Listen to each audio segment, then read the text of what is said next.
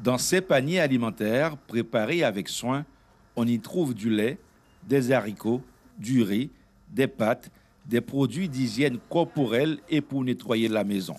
Bref, des produits de première nécessité rémisés jusqu'à 30% de leur prix réel. C'est ce que propose l'épicerie solidaire Tidégra depuis plus de 12 ans aux bénéficiaires des minima sociaux. Pour continuer à rendre service à ce public confiné chez lui depuis le 16 mars, la direction a pris de nouvelles mesures.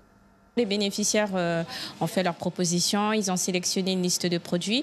Donc on leur a envoyé soit par WhatsApp, soit par mail pour ceux qui peuvent, ou encore on l'a fait au téléphone. C'était pas évident pour pouvoir savoir ce qu'ils voulaient. Et en fonction des collectes qui ont été faites auprès des, centres commerciaux qui continuent en fait à nous approvisionner, donc merci à eux, euh, on prépare les colis et les colis sont livrés directement chez les personnes. Donc tout ce travail est fait par les agents d'insertion.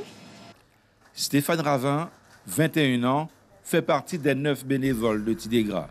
En ce lundi 23 mars, c'est lui qui est chargé de faire les livraisons. À bord de son fourgon, il se dirige vers Remire-Montjoly pour livrer ses premiers colis de la journée. Il y a de l'eau et des ça dépend comment ça monte, ça peut être 200. Et qu'est-ce qui vous reste? Rien.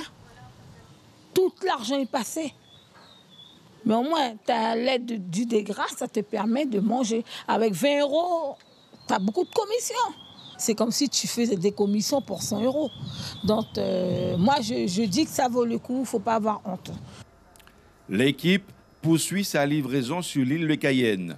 Pour mener à bien ses actions, l'épicerie reçoit des dons de différents commerçants de l'île de Cayenne, un budget de 375 000 euros par an. 110 bénéficiaires attendent beaucoup sur le l'épicerie Tidégra pour effectuer leur course du mois à des prix cassés. Suivez l'info sur Guyana Première, télé, radio et Internet.